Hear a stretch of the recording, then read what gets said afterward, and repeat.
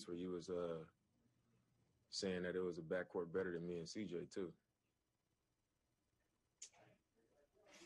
Today?